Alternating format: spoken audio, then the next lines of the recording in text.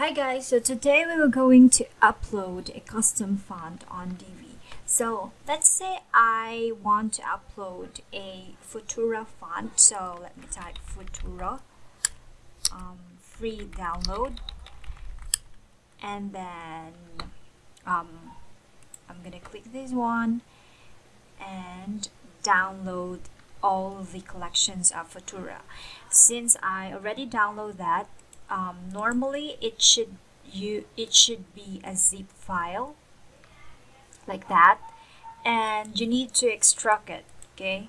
So this font is already TTF which Divi allows and um, other custom files that Divi doesn't allow are S SWF or I think OOTF as well.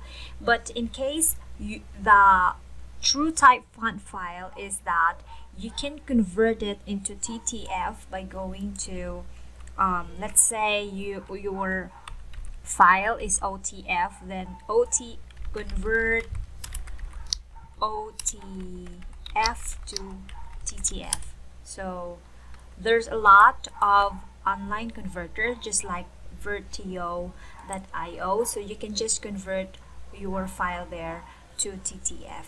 Now once you already have a TTF file, you can then upload your custom font file into Divi. Okay, if um, if you wanted to list in the theme customizer, um, let's say typography, and you'll notice here there's there is no options for you to upload your font. Um, the trick would be you need to upload the font on the text module and you, and then once it's already uploaded then you, you can come back to the theme customizer to select the custom font that you just uploaded. So um, go to open any page that you want. Let's say as an example I'm going to okay wait as an example as an example uh, let me open random page here and go to this page. And then um, so it's just random.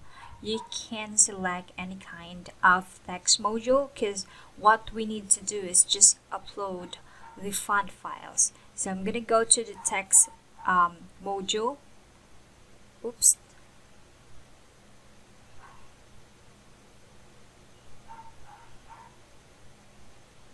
I'm gonna go to the text module um, go to the design and then let's say text file and then upload your custom file.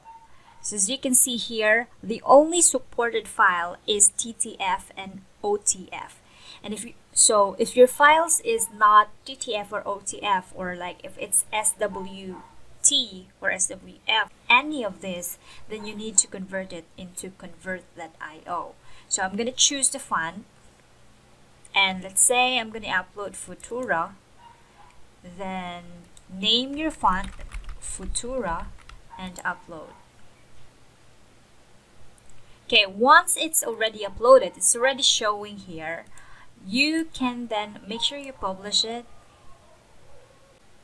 um, once it's already uploaded in any modules so it's random you can select any kind of modules because the purpose is just to upload the custom font so once it's already uploaded um, go back to the theme customizer and then go to the general settings typography and then header font file and you should able to see the custom font that you just uploaded in the text module which is the Futura yeah and I hope it has been helpful. If you are having trouble, if you are having an error, please comment down below. I'll be happy to help you to troubleshoot the issue.